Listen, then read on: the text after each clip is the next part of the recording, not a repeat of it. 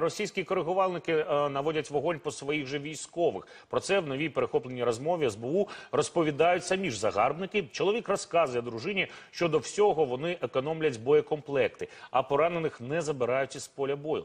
Фрагмент цієї перехопленої розмови пропоную послухати просто зараз. Как ночь прошла?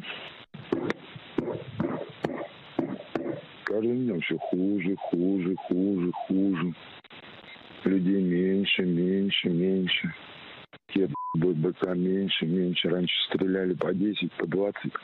Сейчас 3-4 ракетки. Пук-пук-пук.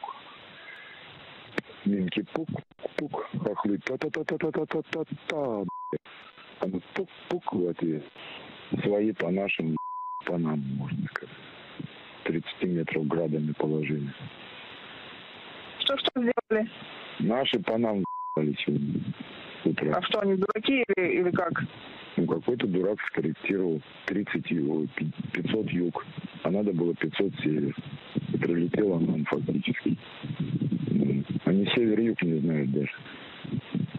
Корректировщики. Ой, опять, и опять сегодня старые позиции штурмовали. Опять всех положили наших хохлы. Хотели вернуть назад, всех положили. Двухсотый, трехсотый. Захлебнулась атака. Приказал зам комбата большой отбить обратно позиции. Потому что сзади наши будут стрелять по ним, если не пойдет. ну какие же дураки, а? Да ну говорю, тут мясо просто для мяса не А раненых как забирают? Сами выползают. Выполз и выполз, нет, сдох. Ну, идиоты. В поле. Это некому стрелять или нечем?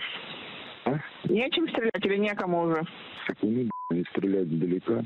Если бы они били с прямой наводки, они попадали бы. Они не бьют. Бьют где-то там далеко из тыла стреляют.